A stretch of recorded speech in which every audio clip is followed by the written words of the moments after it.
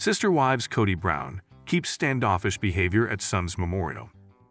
Sister Wives Kody Brown faced a challenging situation at his son Garrison Brown's memorial, where he seemed reluctant to interact with his exes and estranged children.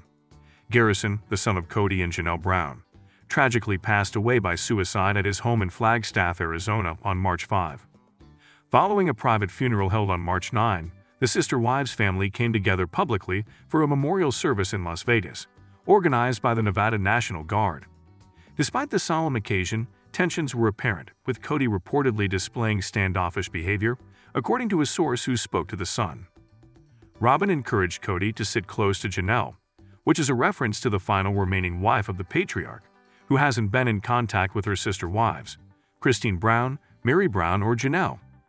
It wasn't good for Robyn, either since a lot of the family still has resentment towards her. The family reunion was awkward, the insider continued, but everyone came together, and they supported each other. Kody manned up and was actually vulnerable with David Woolley. Kody was standoffish. He was more resistant in mingling, the insider said, referring to Christine's now husband. There was no anger, there was no fighting, there was none of that. It was an interesting family dynamic. There's some angry people, there's some happy people, there's some in the middle people. It was just like, let's focus on Garrison type of thing. It really wasn't about any ill will feelings towards each other. Some family members chose to wear Hawaiian patterns in remembrance of their late relative. Garrison's clothing company, which a source said was a sentimental thing between the kids. Even with the March 24 reunion, a source said that more work needs to be done to mend ties, and that things won't be all sunshine and butterflies from now on.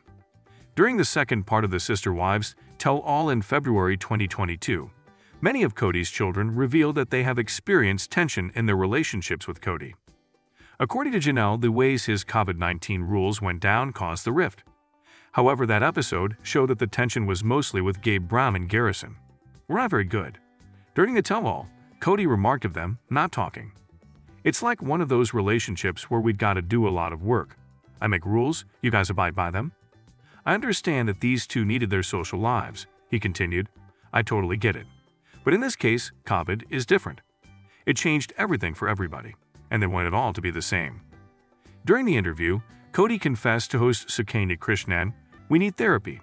I've gotten to the point where I'm so angry about what happened that we're not communicating. I think they are too, as per Yahoo.